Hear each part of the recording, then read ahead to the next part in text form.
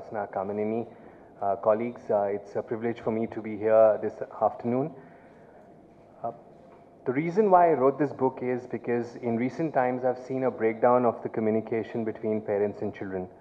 Uh, children these days want to be raised very differently to the way their parents were raised, whereas the parents want to raise children the way they were raised. So that really results in a conflict. Also, this generation with the access that they have to technology, gadgets, numerous extracurricular activities, and also the academic pressure, have very little time to communicate with their parents, and so this barrier continues to grow. So, how can one actually break this barrier? How can one actually communicate with uh, one's children better? Is really what the crux of this book is. So, while one can uh, at best read, and 17% of children are actually embarrassed if their friends see them reading. Uh, one can talk to them about one's own experience, but then as we know, uh, that turns out to be a sermon, and, and we should perhaps uh, remember what um, Charles Wadsworth had said. By the time a man realizes that maybe his father was right, he usually has a son who thinks he's wrong.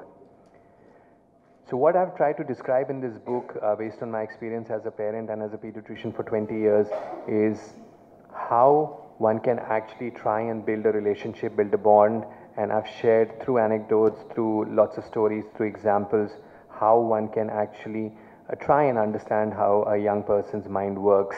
And, and I've given examples, for example, with, with our son, when he wanted to buy an iPhone, I thought it would be a great opportunity and lows of Steve Jobs' life and determination.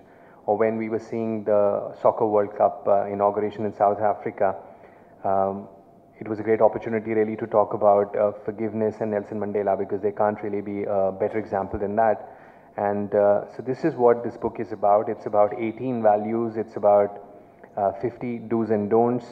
And uh, I've tried to uh, share a little bit of. I was uh, reminded of what um, Mark Twain had said. When I was a boy of 14, my father was so ignorant, I could hardly stand to have the old man around. By the time I got to be 21, I was astonished at how much the old man had learnt in seven years. So this book is dedicated to all the children I've had the privilege of uh, looking after over 20 years, and I hope that it's of benefit to both parents and children. Thank you.